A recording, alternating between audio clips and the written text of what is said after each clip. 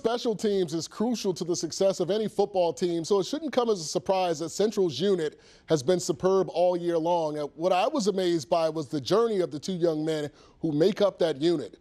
Punter Juan Velarde and kicker Adrian Olivo are both of Latino descent. When I caught up with those guys, they detailed how no one knows how difficult the college process is for families that weren't born in the United States.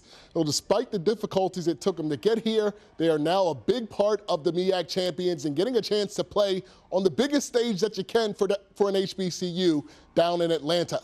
Velarde says he never takes the opportunity he's been afforded for granted when you come to HBCU, uh, I feel like you're gonna have a great experience.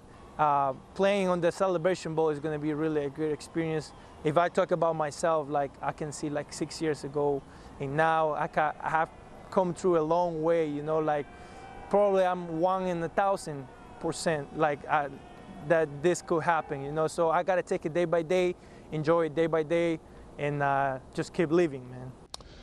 Uh, Juan also said coming to North Carolina Central was one of the best decisions he's ever made. He's a finalist for the Doris Robinson Award presented to the FCS student excelling on the field, in the classroom, and in the community. Does a lot of great work in the Durham area. Now getting a chance to do it on the biggest stage for an HBCU.